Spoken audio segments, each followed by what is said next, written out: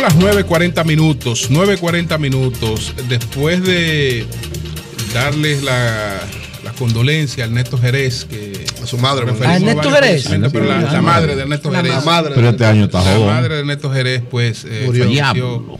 en Santiago. Y la hermana llamaba- de Recio, ¿no? Como tú lo mencionabas, María Elena, ahorita. Dulce María. Jerez, eh, viuda bueno. Ándala, pues. Eh, era la madre de Ernesto Jerez que falleció en Santiago.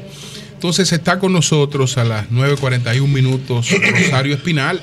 Mm. Y desde luego la mejor manera de iniciar este, este año es con una valoración, con una evaluación de, eh, política de, de cómo arrancamos, cómo, cómo, cómo andan las cosas, si se han producido cambios desde la última conversación eh, con nosotros. Recién no se han publicado encuestas de, de prestigio, no, no hay, no hay encuesta de prestigio publicada. Eh, no sé cuál eh, será cuál será el panorama ¿no? que está vislumbrando en este Hay un momento empate. Rosario Espinal. Buenos días, Rosario. Oye. Ahí, de ahí la trae Feliz año nuevo, Sí, Rosario. feliz año Sí, buenos días, eh, buenos deseos para ustedes Igual y para la días. audiencia del programa. Que siga siendo tan certero en los análisis como siempre. gracias, gracias. Eh, pues bien, comenzamos el año, un año que va a ser por lo menos en su primer semestre intenso. Los procesos electorales siempre son intensos porque eh, pues polarizan las opiniones, eh, la escogencia dentro de las opciones que hay eh, y hay un gran debate político en un país altamente politi- politizado como es la República Dominicana. Así que será entretenido en el sentido positivo de la palabra. Ajá. Según tu óptica, ¿sigue viéndose la posibilidad de la reelección de Danilo Medina una- un hecho concreto sin mayores perturbaciones? Bueno, el eh, como se planteaba hace un, como se planteaba hace un momentito, eh, no tenemos encuestas eh, confiables públicas eh, desde agosto del año pasado. O sea, no se hicieron las que generalmente se No ha hacen en Galo, noviembre. no ha salido- Galo. No ha salido la de los medios de comunicación, que son encuestas eh, públicas y bastante confiables por su trayectoria. O sea, porque en el pasado, cuando se comparan con los resultados electorales, pues han estado bien cerca de esos resultados. Entonces yo pienso que es importante esperar la primera ronda, que supongo será no muy, en una fecha no muy lejana. Febrero. ¿no? Eh, supongo que ya estarán saliendo en febrero, para eh, tener una idea más precisa de por dónde anda el electorado. Indiscutiblemente, y ya para, en relación a tu pregunta, indiscutiblemente que el gobierno, el PLD, está en una, en una situación favorable en el sentido de que el presidente Medina, eh, aunque sus niveles de aprobación hayan bajado, no, no tengo, no hay una encuesta pública que lo indique, pero es normal que haya bajado. O sea, el proceso de cambio constitucional, el cansancio que se produce en una población, eh, que se comience a hacer oposición. O sea, todos esos factores pues tendrán un efecto en el nivel de aprobación. De todas formas, él estaba muy alto y él aguanta bajar. Eh, Entonces, en ese sentido, pues eh, hay que ver eh, si ha bajado, cuánto ha bajado, y la, próxima ronda de encuesta va a ser muy importante para eso. De todas formas, el gobierno tiene muchos recursos en esta campaña, o sea, tiene muchos recursos económicos, tiene muchos recursos institucionales. No podemos decir que el presidente en sí es impopular, aunque no sepamos exactamente dónde se coloca hoy en día su nivel de aprobación. Entonces, todo eso son eh, condiciones favorables. Las condiciones desfavorables que tiene el gobierno son, eh, pues, el cansancio inevitable que produce un partido en el poder por muchos años.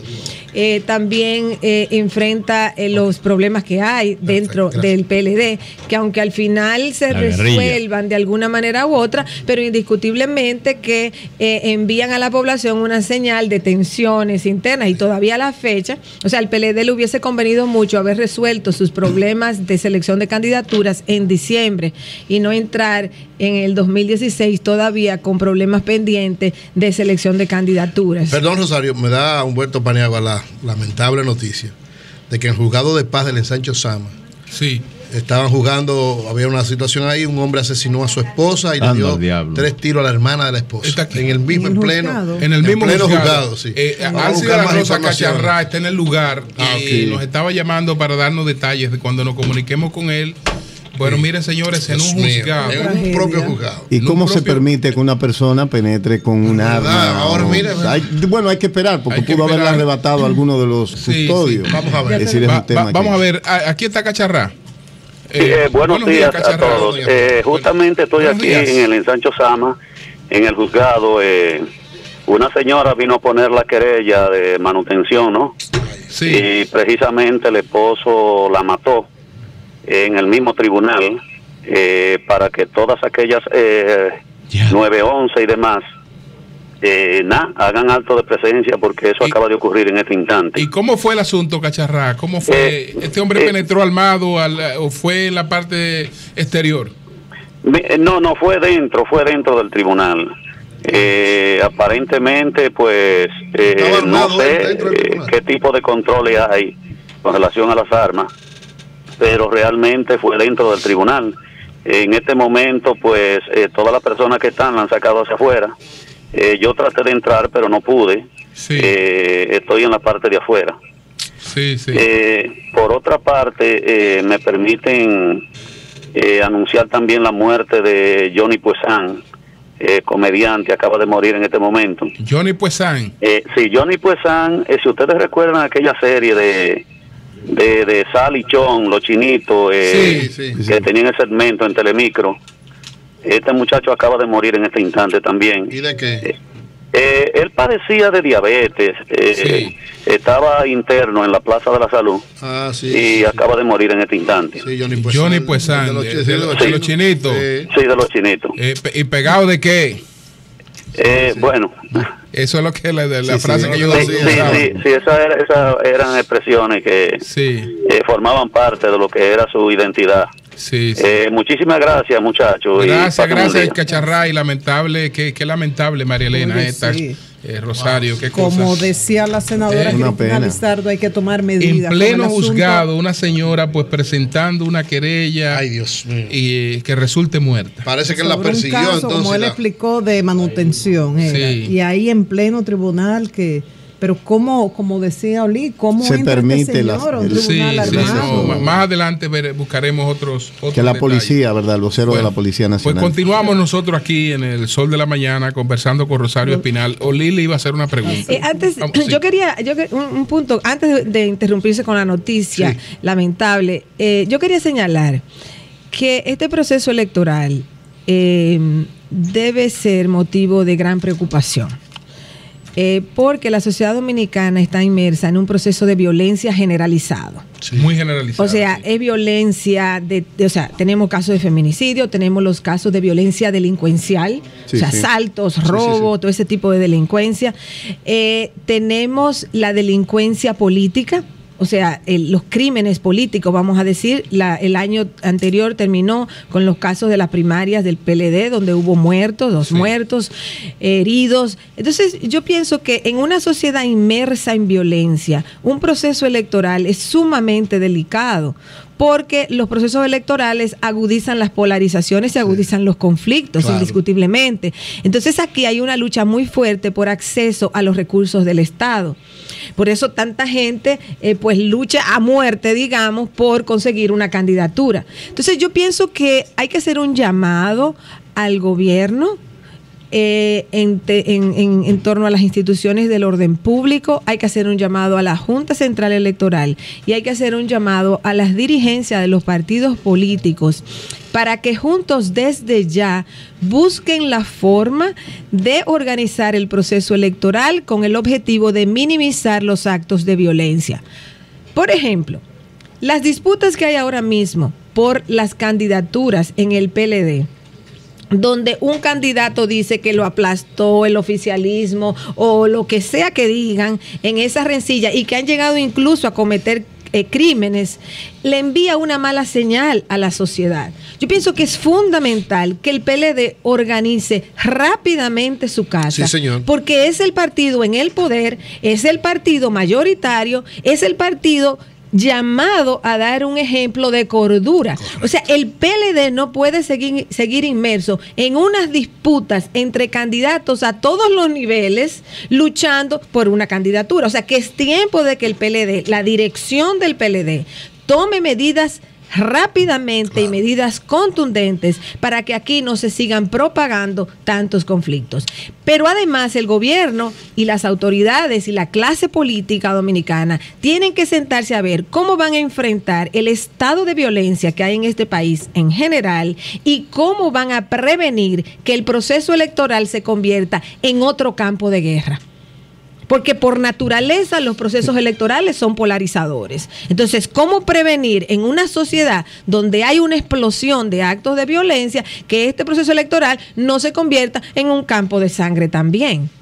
Hace falta normativas que sancionen los delitos electorales y, se ha hablado, eh, todos los partidos eh, de manera pública se han expresado a favor pero realmente no ha habido voluntad política de quienes dominan el Congreso Nacional y es el partido de gobierno que durante la última década ha controlado el Congreso Nacional. Eh, ahorita usted hablaba, doctora, del posicionamiento del presidente y candidato a la reelección del presidente Medina. Pero realmente la última medición de Galo publicada fue el 14 de julio pasado. Eh, las otras eh, encuestas también salieron más o menos en, esa, en ese promedio. En ese momento, eh, pues no había todavía definición de las candidaturas de la oposición y realmente prácticamente estaba solo el presidente Medina como candidato. En este momento se han construido dos bloques. El hecho de que el PRM eh, tenga la mayoría de la matrícula del partido opositor, el Partido Revolucionario, anterior Partido Revolucionario Dominicano, y ahora con la alianza con el Partido Reformista, más las fuerzas como Partido Frente Amplio, el, el Dominicano por el Cambio y otras organizaciones políticas que componen el Partido Humanista, ese bloque, ya de cinco partidos, de los cuales uno de ellos es parte de las marcas tra- tradicionales, de partidos tradicionales, entendemos que coloca a Luis Abinader como la opción opositora frente a- al presidente Medina. Eh, lo que uno siente, y nosotros, por ejemplo, yo que eh, hago vida también académica en algunos momentos, es que se está notando un mayor rechazo al gobierno del presidente Medina, no tanto por lo económico como por el tema de la seguridad ciudadana y el tema de la corrupción que ya la gente siente que le está tocando. No, indiscutiblemente, el presidente estaba corriendo solo durante tres años, prácticamente. Pero, eh, pero realmente, eh, o sea, es cierto, estaba corriendo solo, es cierto, no tenemos encuestas públicas. Y hasta que no salga la primera ronda de encuestas públicas es muy difícil saber, porque si tú le preguntas a la gente de cada uno de los partidos, los resultados que le dan sus encuestas son totalmente diferentes. yo no recuerdo una encuesta pública donde Danilo haya obtenido menos de un 60% en los cuatro años de gobierno que tiene. ¿Usted la recuerda alguna? Pero eso hace un año, José. No, no, pero yo pienso, no, no, no. Eso yo hace pienso, más de un año. o sea, yo no conozco una encuesta después que Danilo es presidente donde marque menos de 60. Yo no la conozco. El, el- yo creo que es importante esperar la primera ronda de encuestas para tener mayor precisión. Todo lo que ahora podemos decir es, claro, en base a otros factores. Los partidos tienen encuestas porque los partidos las están haciendo. Pero cuando uno habla con la gente de los partidos, los resultados que te dan son tan diferentes que no puede haber, eh, o sea, no hay comparabilidad porque no puede ser que una encuesta te dé eh, al PLD en 65 y otra encuesta te dé al PLD en 45. O sea, no puede haber eh, en, en el campo científico una diferencia de Además, 20 que crea que puntos. El PLD tiene un 45, Eh. el PLD no ha pasado nada que pueda llevar a una situación de descalabro así. O sea, simplemente. No ha pasado, Ahora- pero esta convención, José, Ahora, lo debió poner en mente. ahora, indiscutiblemente que la conformación de una candidatura opositora, indiscutiblemente que la, con- la conformación de una candidatura opositora eh, genera una competencia. Eso es claro. Entonces, en la medida en que se perfila una opción opositora, es de suponer que hay un rebalanceo, digamos, de las preferencias del electorado. ¿Cuánto se ha producido de eso? Vamos a esperar para ver cuánto se ha producido. Ahora, al margen de cómo eso se va a expresar en el electorado, yo pienso que hay otras variables que sí hay que considerar. Por ejemplo, la alianza PRM Partido Reformista. ¿Qué hace la alianza PRM Partido ¿Es Reformista? buena o mala? Ese es un planteamiento que, o sea, es una- un punto que hay que evaluar. Yo pienso que la alianza PRM Partido Reformista compacta el voto clientelar opositor. O sea, el voto clientelar opositor lo compacta.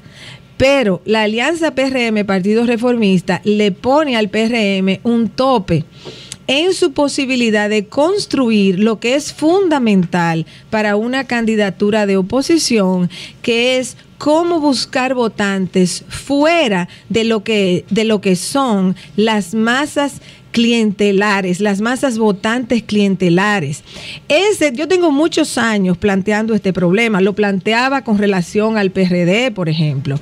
O sea, mientras aquí no haya una opción opositora que se plantee como proyecto, como proyecto real, traspasar lo que son las masas votantes clientelares, es decir, captar el apoyo significativo de lo que es una franja que no es muy grande, podría ser al ojo dicho un 10% del electorado más o menos, que es el votante más crítico, que es el votante que no vota porque tiene un empleo o porque espera tener un empleo o porque recibe una tarjeta de tal cosa o lo que sea. O sea, esa franja electoral es fundamental para una candidatura de oposición ser- eh, eh, tener o- posibilidad de ganar.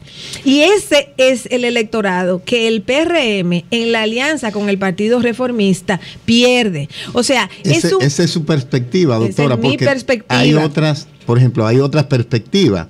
El bloque Sí, del PRM la- cuenta Pero la entrevistada con- es ella, no son las otras. con aliados, por ejemplo, como el Frente Amplio, como Dominicano por el Cambio, Eh, El, de, el de Juan Ubiere, eh, rebelde. Eh, todavía no sea, Dominic- Sí, sí, por ejemplo, sí, el Frente. Amplio, Dominicano por el Cambio, y el Partido Humanista. Por el Frente Amplio todo el mundo conoce su posición y su perspectiva. de. También con una franja importante del antiguo PCT, es decir, eh, del MUCA, de Virtud de Álvarez, entre otras dirigentes, eh, María Teresa Cabrera, personas que tienen Vamos credibilidad vamos en- respuesta. otra Bueno, yo sé que sobre todos los temas hay muchas opiniones, o por lo menos hay dos o más. Eh, la mía, la mía es la siguiente. El pacto PRM Partido Reformista compacta, y eso tiene algún beneficio para el PRM, compacta el voto clientelar, indiscutiblemente. ¿Es necesario para ganar ese voto también? ¿O el voto eh, clientelar no es necesario? Entonces, si fuera así, No, no, el no. No, no es que no es necesario. El PRM tiene su propio voto clientelar. Es un voto clientelar fundamentado en el segmento PRDista que pasa al, al, al PRM, digamos. Ahora, el desafío, y es que yo llevo muchos años planteando esto, no, no es la primera vez que lo planteo, lo planteaba, yo lo planteé muchas veces con respecto al PRD. Yo decía, el PRD puede llegar a- al sí, al 46, al 47, al 48, hasta el 49. Pues, y fíjense que en las elecciones del 2012, el 98% de la población votante dominicana escogió entre Danilo Medina e Hipólito Mejía. El 98%, eso es mucho. Sí, o sea, sí. eso es prácticamente todo el electorado que optó por una de esas dos eh, opciones que había en, en- en el menú electoral, digamos. Entonces, aquí hay una tradición, con excepción de la década del 90, cuando el PLD surgió en un contexto de declive PRDista por sus ejecutorias gubernamentales y de ocaso biológico De Balaguer. de Balaguer. En ese con- es el único contexto en el post-trujillismo donde aquí se ha dado la posibilidad temporal de un tripartidismo. Fuera de eso, el electorado dominicano y el sistema político dominicano se ha movido en lo que yo he llamado un bipartidismo satelital, es decir, el bipartidismo con muchos partidos pequeños alrededor de las grandes opciones. O sea, Rosario. y ese es el comportamiento electoral también, así como se expresa. En el 2012, y repito, 98% del electorado dominicano escogió entre dos opciones. Ahora mismo, ahora mismo, no es posible hablar de bipartidismo. Porque ahora mismo estamos en un contexto de desestructuración del sistema de partidos. O sea, En la división esquema. del PRD crea, porque ya el reformista se dividió varias veces, el PRD ya se dividió en dos y el PLD, aunque no se ha dividido, enfrenta fuertes tensiones. No se ha dividido hasta la fecha, Eso enfrenta, fuertes todo. tensiones. Pero dos de los partidos grandes tradicionales que Se hubo dividieron. ya se dividieron. Entonces, este es un sistema de partido en desestructuración, o sea, se está desestructurando. Ahora, ¿qué es lo que puede pasar en el 2016? En una tradición política de bipolaridad, digamos, es que se creen dos polos electorales. Eso sí es posible. Se creen dos polos electorales en donde la masa votante eh, opositora se articule en torno al PRM, Partido Reformista, porque son los dos que podrían tener, o sea, más base y más recursos para captar esos votantes. Y estructura política. Y, y por otro lado, claro, el bloque del, P- del PLD, que tiene un instrumental diverso para captar también la masa votante clientelar. La interrogante es, ¿quién capta ese fragmento, ese segmento de alrededor de un 10% que es el voto voto crítico? Yo creo que hasta que aquí una opción opositora no piense en ese voto, es muy difícil articular una mayoría ganable. Rosario, Y pensando en ese voto crítico y bajo ese esquema, ¿cómo evalúas el proyecto de Minú Tavares Mirabal como candidata? Posibilidades en estas elecciones y a un corto o mediano plazo. Bueno, el, el- el caso que se plantea ahí es que es una organización muy nueva. Es muy difícil en, en el corto plazo articular una candidatura presidencial en una sociedad donde... Eso cuesta eh, dos mil millones de pesos y 20 años. Tú vas a, una, a unas elecciones generales Y cuidado. con cuatro mil y pico de candidaturas, o sea, el costo del montaje para una organización política es sumamente alto. O sea, estas no son unas elecciones simplemente presidenciales, que son complejas también, pero que, eh, digamos, son menos complejas. Más compleja y complicada Eh, esta. pero esta es muy complicada porque muchos de los votantes se gestan abajo. O sea, tú tienes que tener alcaldes, regidores, diputados, senadores con mucha experiencia en procesos electorales para tú poder captar eso. Entonces, a cualquier y eso se aplica a Opción Democrática o se aplica a Alianza País o se aplica a los partidos minoritarios. Ahora, eh, es decir, el desafío es sumamente grande, en corto tiempo, con escasos recursos para enfrentarse a maquinarias electorales que tienen mucho más estructura en la base y tienen mucho más recursos en unas elecciones generales, donde tú tienes que llevar candidato a todas las posiciones electivas. Ahora, ¿qué es lo que yo he planteado? Que lo- lo- lo- hace ya tengo un tiempo que lo estoy planteando con relación a este proceso electoral no es posible competir con organizaciones pequeñas en el marco electoral. Si organizaciones como Alianza País, Opción Democrática, PD, etcétera, quieren presentarle al electorado una opción diferente, ellos tienen que buscar mecanismos de alianza. O sea, no es posible con un menú de partidos en un país con tradición de polarización electoral Hay 11 candidatos a la fecha. entrar a competir ahí. Entonces, si tú quieres crear una opción, porque, porque los dos principales, por ejemplo, no lo crearan, y tú quieres presentar una opción diferente, entonces tú ahí tienes que ver cómo te articulas, no cómo aumentas el menú de opciones en un proceso electoral, sino cómo te articulas con fuerzas que tengan eh, principios, objetivos similares, entonces tú presentas una opción que aunque tenga dificultad compitiendo con las grandes, pero puede colarse a captar ese, digamos, voto más idealista, ese voto más crítico, que no quiere entrar en lo que son los vehículos tradicionales electorales. Ahora, sin alianza.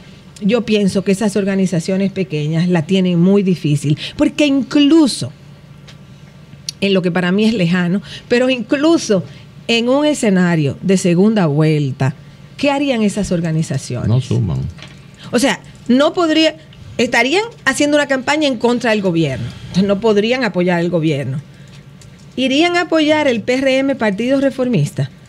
Bueno, pero O sea, sería una situación Víctor, sumamente difícil para esa franja Y electoral. Minú habló de primaria. conservadores. Minú habló de que era una, de que estas elecciones Déjame- eran una primaria. Que Víctor tiene una Sí, preguntita ahí yo le quería preguntar a Rosario, desde el punto de vista Sí. sociológico y analizando la correlación de fuerza y la intención de voto, ¿cómo medimos el siguiente fenómeno que está ocurriendo? Y estoy seguro que usted va a coincidir y aceptarlo como bueno y válido.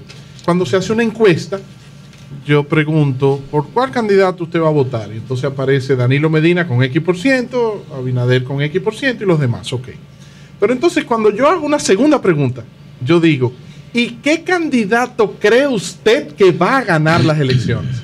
Evidentemente que ahí el porcentaje de Danilo Medina se dispara, lo que demuestra que una gran cantidad del electorado que inclusive simpatiza por una opción opositora entiende que su voto no va a valer para que ese candidato gane. ¿Cómo contabilizar eso a favor o en contra de las distintas opciones? Eh, Bueno, eh, no hay una forma estadística, matemática, de contabilizar esos votos eh, directamente a decir, por ejemplo, el segmento, el porcentaje, supón tú que 70% crea que va a ganar eh, Danilo Medina. Como no se puede matemáticamente traspasar ese por ciento, eh, simplemente. Ahora bien, ¿Qué es lo que sí se puede asumir? Y no solamente por el dato matemático, sino por la historia electoral dominicana, que al irse cerrando, ya concluyendo el proceso electoral, entonces la gente comienza a pensar, bueno, ¿cuál es mi voto útil? O sea, el problema del voto útil sí juega un papel al final del proceso electoral. Porque entonces ya la gente no solamente piensa en lo que me gustaría que pasara, sino entre las opciones posibles, ¿Qué es lo que yo no quiero que pase?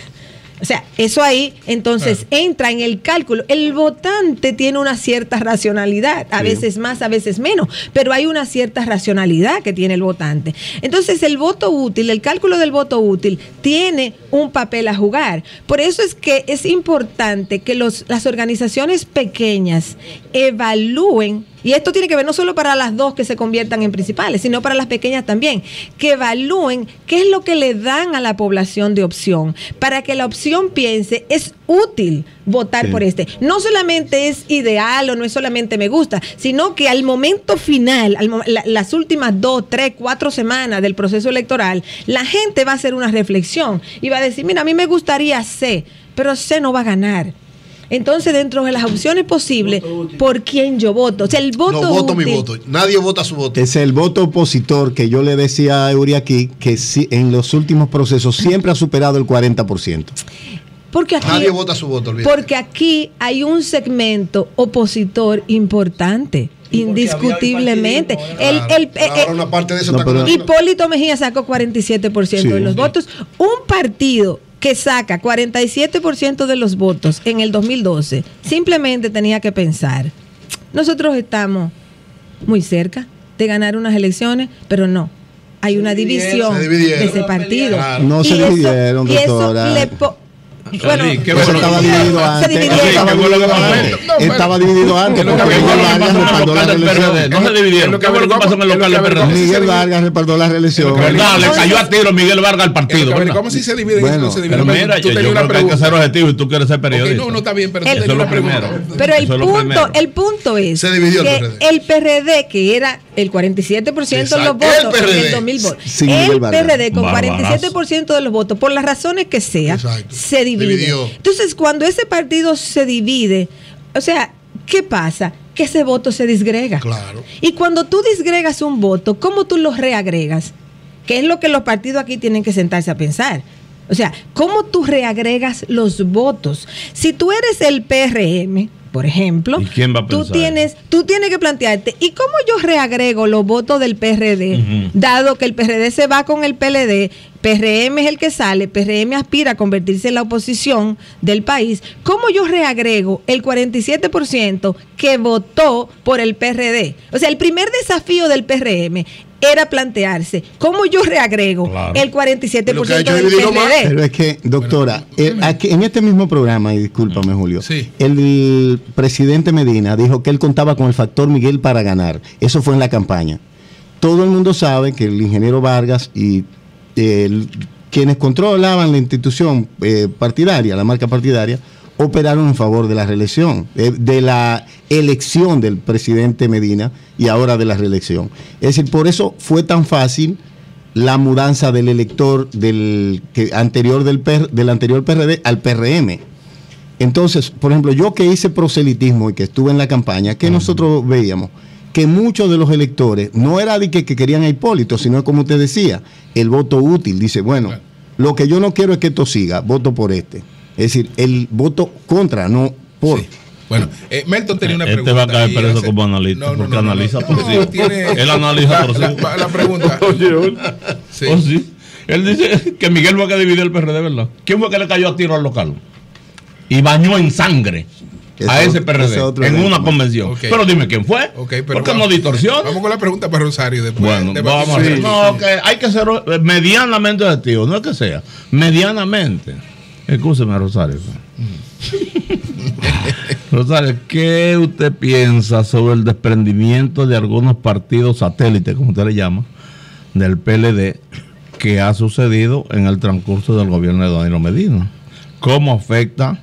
Habla de Fuerza Nacional Progresista. Sí, de, Habla de Partido Reformista. ¿De quién más? del De PQD. Opción Democrática, Minú. Busquen los votos que sacaron en el 2002. de las deserciones del PLD. ¿En qué medida eso le resta a la reelección? Aunque agrego. Es una ahí- pregunta aunque que se hace. Aunque agrego ahí, y me decía un vocero del PLD que me confirmó eso, un vocero del PLD.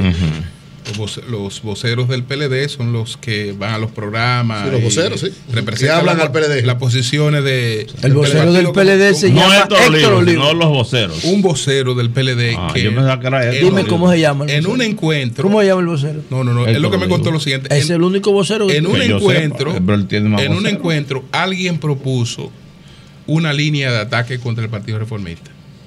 Y te dijeron que Y no. la, No, no persona, es inteligente. y la persona que estaba ahí dirigiendo la cuestión No le dijo, le dijo que no. Y entonces después Eso me, pasó con Jacobo. después me enteré. la guerra. ¿Y después- dónde será eso? Porque el PLD no sé. Yo soy vicesecretario Después de me enteré, comunicación. pero tú, no eres, tú eres vocero del PLD. Tú eres vocero. No, yo soy vicesecretario. No, Bueno, no, yo soy vicesecretario, de comunicación del PLD. Pero el PLD. Si se diseña una estrategia, yo pienso que hay que Bueno, consultarme. pero, que pero- no pero hay No, algún- no, no. En alguna parte. Es que el PLD no se reúne. José, por lo menos invitarte y, y Eh, comunicarte. Se alguna- están acariciando parte la se están diseñando porque aquí hay 80 mil programas y van voceros todos los días. Voceros sí, claro, y van, con ¿Vocero de grupo? y van con orientación. Entonces, ¿qué, qué ocurre? Que además de eso, de que, de que la línea fue de cero ataque, ustedes vieron lo que pasó en diciembre. Mm. En diciembre a los reformistas se le dieron las mismas asignaciones que Se le dio tenían- en la caja del gobierno. vengan, no. Estoy yendo, las mismas caja del asignaciones, gobierno del pueblo. a pesar, a pesar del cambio, es decir, que no hubo ninguna diferencia. Bueno, pero adelante. Sí, No, pero, no fue, Rodríguez. pero, pero no, eso no, no es cuestión de César Prieto, ¿no? Una decisión de eso arriba. Tiene, que- eso tiene que ser una decisión superior. Ah, yo no sabía. Sí, ah, pero claro que, Pero le tra- di en la cajita a los reformistas. no, que se lo trataran igual que siempre. La caja que dieron donde va la guerra eran del plan social. Sí, ¿Cómo va a ser? claro. Dijeron, le cogemos la cajita y no somos PLDistas.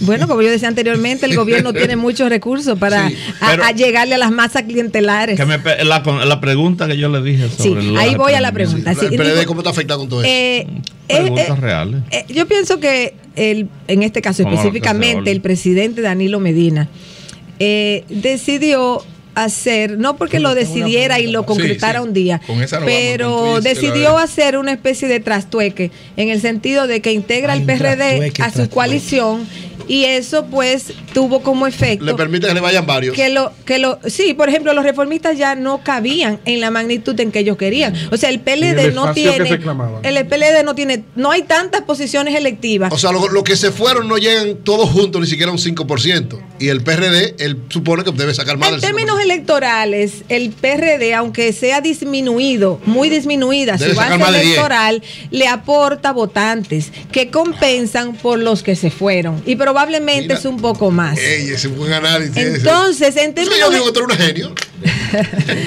en términos electorales, mira, en- te conviene. En términos electorales, no es, no me parece a mí que es particularmente problemático de votantes en sí.